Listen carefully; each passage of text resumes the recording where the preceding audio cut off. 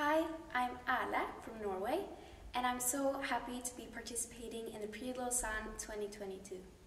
I'm very excited for the competition week, and I'm really looking forward to the experience.